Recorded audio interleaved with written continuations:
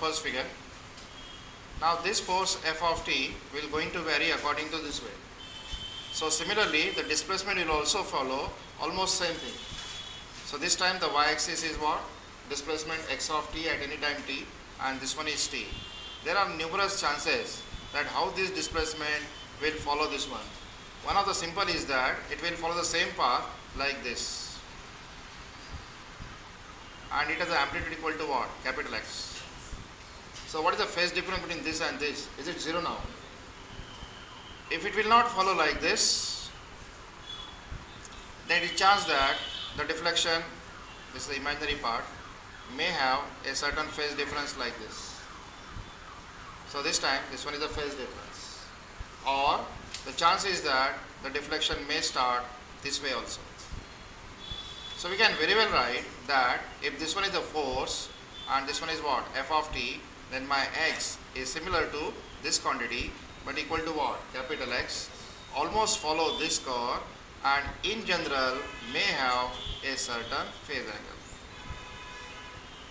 And you can write phase angle may be positive or may be negative.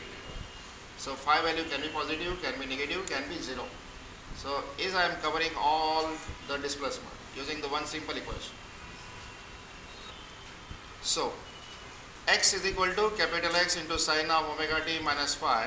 I required x for spring. I required x for spring. So what is my maximum displacement?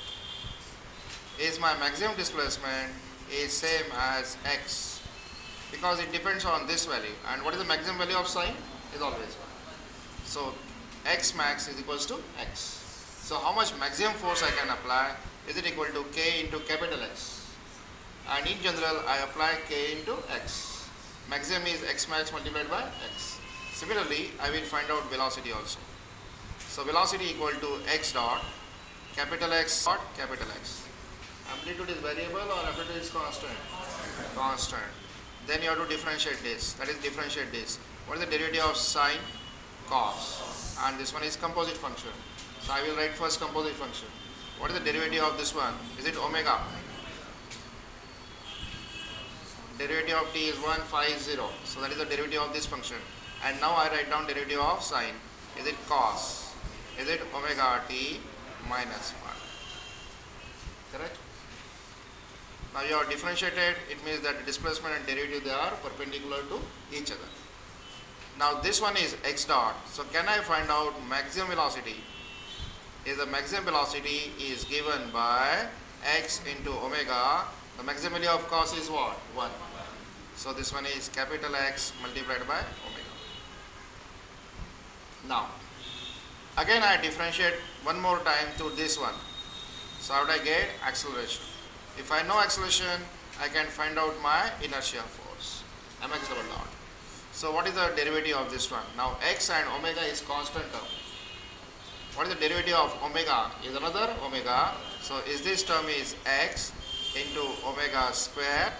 Composite derivative, composite का derivative हो चुका है. And now what is the derivative of cos? Minus. So I have to write here minus. So this one is minus and this one is what? Sine of omega t minus 1. Correct? And this value is max, then what is my maximum acceleration? So my maximum acceleration is minus of x into omega square.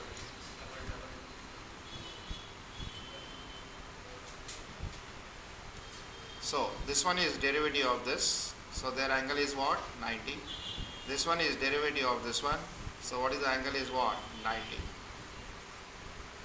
So total angle from here to here is what? Is it 180? But what is this sign? Is it minus sign? So this is minus and this one is plus. So is this is acting in the opposite sense of x. For a graphical solution, graphical solution of equation number 1. To have a graphical solution of equation number 1, let first we have one reference line. So this one is reference line. Is the spring force, maximum value of spring force will act along this direction, along x. And is the maximum spring force will be equals to what? F spring max. Is it equal to k time x? So spring force will be act along this way. So I will just mark it like this. So this is approximate diagram. I don't know what is this force. So this one is what? K multiplied by X. Then the spring force, sorry, damper force is the damper force is X multiplied by omega is it multiplied by C.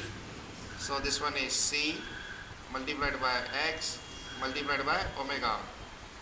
The phase difference between this and this one is what? 90. So we have to turn this by 90 degree.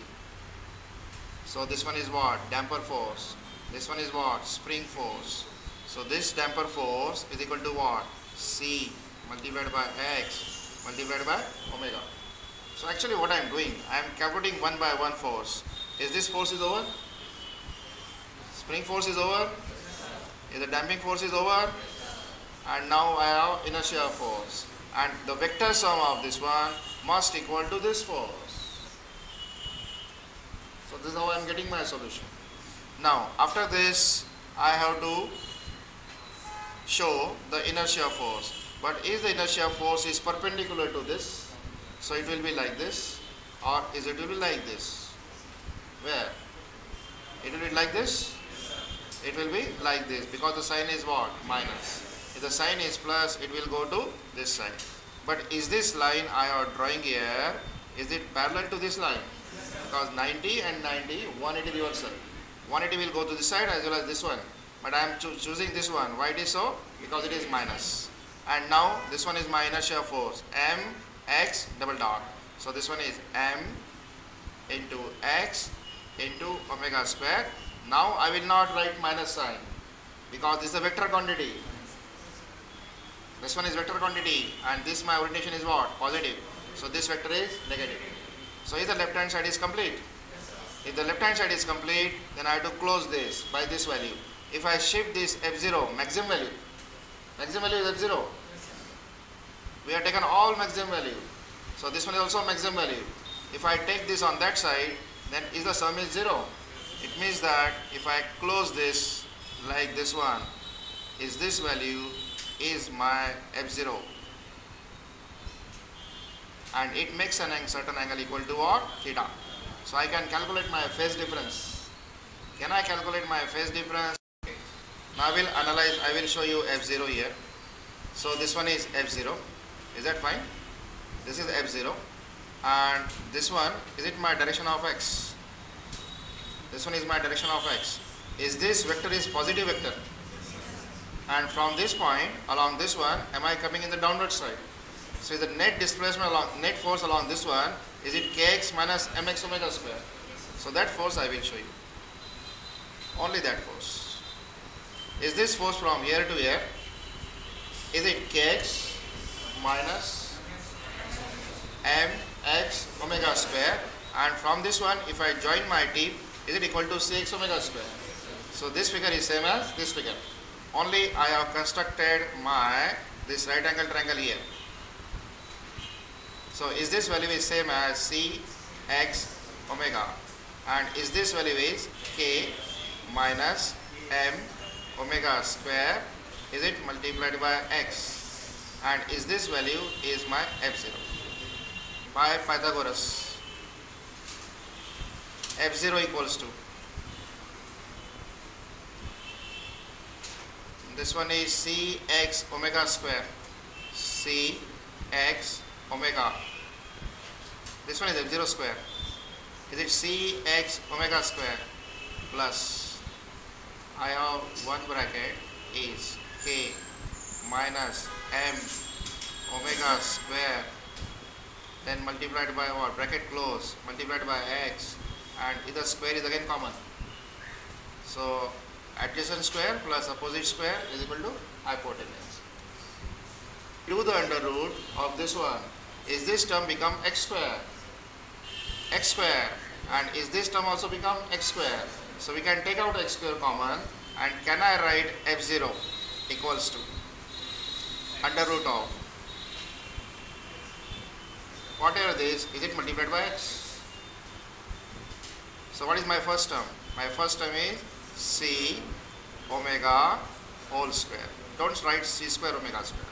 Only write c omega square plus I to open square bracket then open bracket k minus m omega square my first bracket close my second bracket close even my under root sign is also over so if I solve for capital X that is amplitude is f0 divided by c c into omega whole square plus square bracket then k minus m into omega square into whole square. Is fine? Now, recall this. What is delta static? Delta static is what? Is it F0 by K? So what is F0? Is it K multiplied by delta static? So I can put up here K multiplied by delta static. Dividing numerator and denominator by K. So we will divide this term by K. So this term is also divided by K. Free vibration. I have governing equation equal to what? X double dot plus C by M X dot plus K by M X equal to 0. And this value, yesterday we have seen this equal to what? 2 zeta omega n and this value is what? Omega n square. So I will start with C by M. So what is C by M? C by M is what? 2, 2 zeta omega n. C equals to 2 zeta is it M into omega n. What I wish, I wish by K. So I will divide by K. So shall I divide by K also? So what is C by K?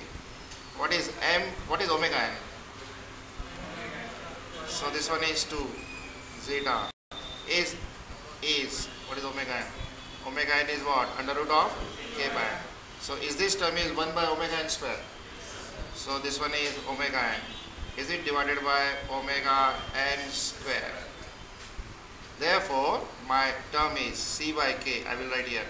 c by k is equals to c by k is it equal to 2 zeta divided by omega n.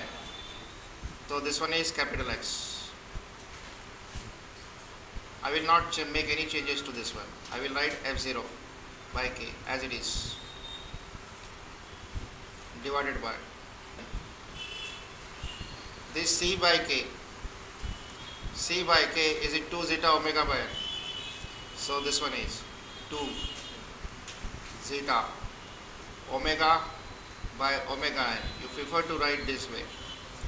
Is it square quantity plus square bracket k by k 1 minus m by k is it 1 upon omega n square.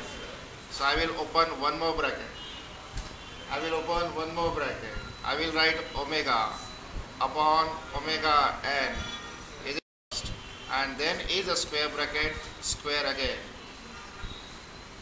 What is r? Is omega upon omega n. So what is omega? Is it a frequency of force frequency? Or frequency of what? Excitation. Is it omega n? Is it a natural frequency of this system? So if I replace this one, this will become very simple form. So what is the simple form? Simple form is capital X. Then is F0 divided by K is equal to delta static. And first time is this value will be equal to what? X0. Is it the maximum displacement? So this value equals to X0 divided by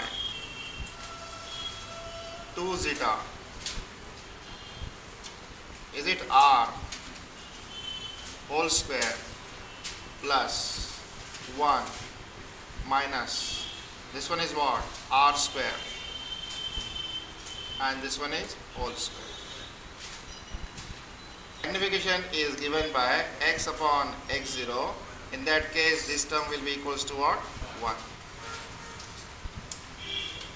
this is called as magnification factor short form is mf